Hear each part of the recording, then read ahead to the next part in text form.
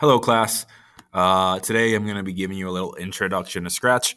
Um, I know some of you have used Scratch in the past, whether that be on your own or maybe in sixth grade. Um, but I'm just going to give you an introduction. It's going to be an Edpuzzle, so there'll be some questions that pop up as we go.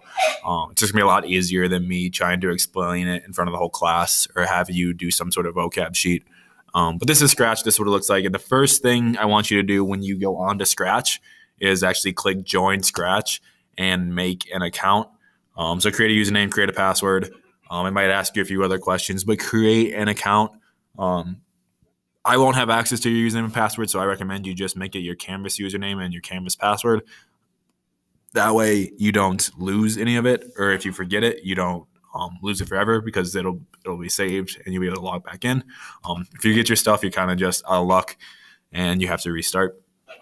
Uh, and I won't feel bad because I just told you all to use your canvas stuff. Um, so this is what Scratch looks like. This here, this cat is called a sprite. Um, so it's like your characters. Um, and then you can always add more by choosing a sprite. So they have all different kinds of sprites. So they have animals that you can add to be characters. They have people you can add. They have fantasy stuff, dances, music, sports, food, fashion, letters all different things you can add. Like if I wanted to add a crab, I click crab, and now I also have a crab in my game. Um, the other thing that's really important to add before we get started is the backdrop. You can choose any sort of backdrop. Um, like if I wanted this blue sky, now I have a blue sky background. Um, for your sprites, you can also change the size if I wanted my crab to be smaller, because I don't know why that crab is bigger than my cat, I can change the size to 30. And now it's just a tiny little crab that I can make crawl around on the bottom. Um, you see, you also see here, you have the X and the Y axis. Um, hopefully in math class, you know what this is by now. My sixth graders had no idea what it was, but hopefully you know what the X and Y axis is. X, just think of a straight line going left to right y of y being a straight line going up and down, and then in the middle of that is the point zero zero. So everything in front of the x-axis, everything going this way is going to be a positive x. Everything going this way will be a negative x. Everything going up and down, this will be a positive y. This will be a negative y. Um, so the reason the crab is at 62, x62, so it goes 62 this way, and then y negative 161, which is right there. Um, hopefully that made sense. If not, I can explain it a different time. Um, but I'm trying to make this video short and get through it as fast as possible.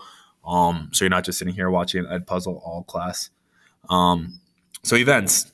Um, these are what I would call the starter blocks. These are the blocks you're going to use first. Um, you notice how all of these blocks kind of look like puzzle pieces? how you can put stuff above it and below it and they all kind of fit together. The event blocks are different. They have a rounded top, so you can't put any pieces above them.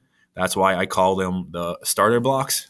Um, so, like this one, when space key is pressed, anytime you see one with an arrow like this, it's a it'll drop down and it'll let you change. So I can change it to up arrow, down arrow, right arrow, left over, left arrow, or any different key or number um, on the keyboard that'll let me um, do whatever I want with that key. So for me, I'm going to do when space pressed.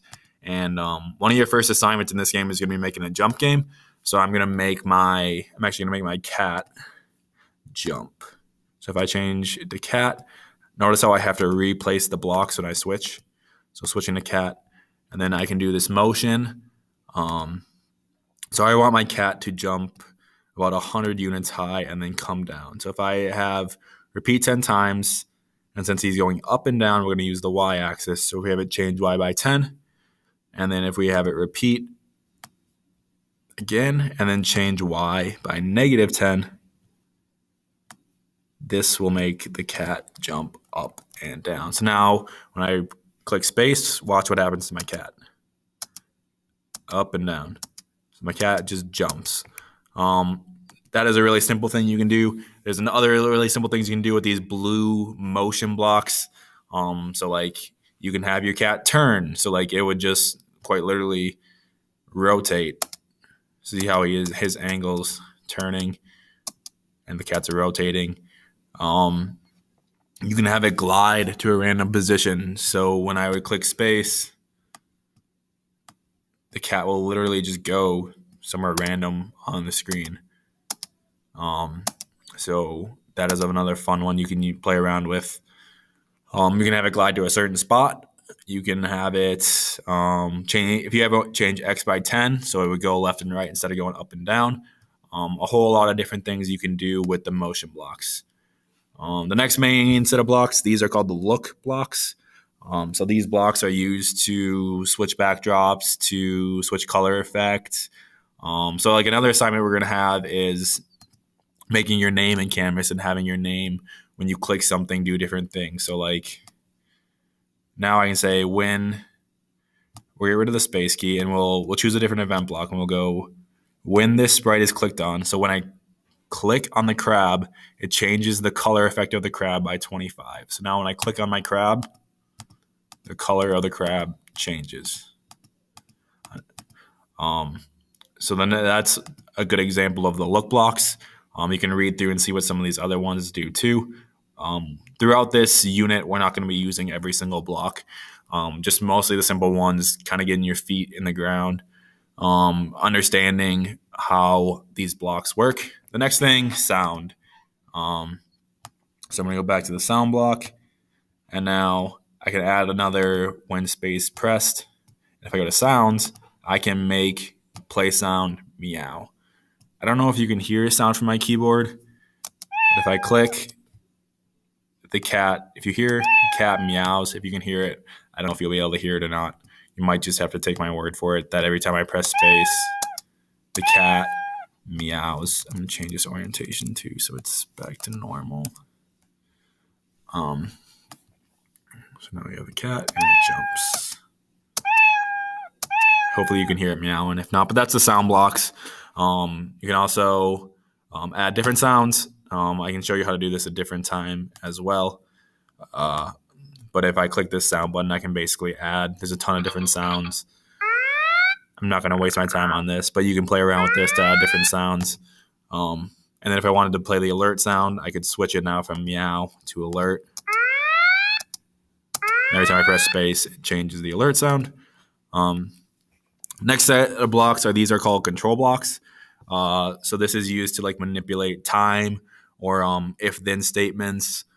Um, and you can have it set to like repeat or you can have it do stuff forever or whatever. So like for our crab, let's say we want it for to once we click it, we want it to just continue to change colors forever.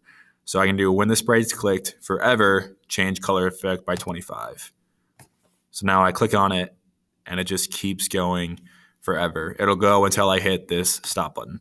Um, you can also have it wait. So I could have it like do it a little slower. So now when I click on it, it waits one second and then it changes color, but it's still going forever. So it's slower now. Um, the other things you can do, um, we'll get into the if and then statement blocks too at a later date. So you can do like when we make the jump game, for example, um, you can say if the cat is touching, let's say the cat is trying to jump over the crab. If the cat is touching the crab, then the game stops. Um, or later, we're going to add a score variable. So if the score hits level 10, um, then it goes to the next level. Um, so that would be like an if then statement. Um, we'll get more into that as the year goes on. Um, again, a few other blocks like stop all blocks, clone blocks. Some of these we'll use, some of these we won't. Um, the next set of blocks is the sensing blocks. Um, so this would be blocks. These blocks would go hand in hand with the control blocks. So like if I have the if block and we want to say if sprite one or if the crab, and if we switch it to touching, if the crab is touching sprite one, so if it's touching the cat, then we could have then we could have it do whatever. Then we could have it say switch to backdrop and say game over. Then we could have the game stop. Then we could have the crab make a sound. You could do all sorts of different things with these different variable blocks. Um, so if it's touching a certain color, if it's um, if the mouse is down, so if you're clicking, um, then it'll do something. Um, that's what all these sensing blocks can do. Um, so they go hand in hand mostly with these repeat blocks, with these if then blocks. Um, operator blocks. we won't use these too much. Um, the only ones we will really use in this second will be the equals then or the greater than sign. Sometimes we'll use those. Um, so we can also like use this one. So like if something is greater than 50, um, so let's say if our score is greater than 50, then the backdrop switches to the next backdrop. It'll be like a level up kind of thing. Um, again, hopefully this is making a little bit of sense. I understand you might be confused on some parts, some parts, but hopefully as the year goes on, you will learn, uh, or as the unit goes on, you will learn more and more, and what I'm saying will make sense. Um, we're almost done here. The last thing is the variable blocks. So I talked about making a score. Um, so like if I click make a variable and I call it score, and I click OK, now you can see I have a score on this screen. Um, so then you can also set it to a change a variable. Um, so if I go cat and I go every time my cat jumps, I change the score by one. So now every time my cat jumps, score goes up by one. Um, and then eventually we get to the point where score, I jump over enough crabs, my score gets to level 30 and it would say like you win or it would say level up and you would make the game harder.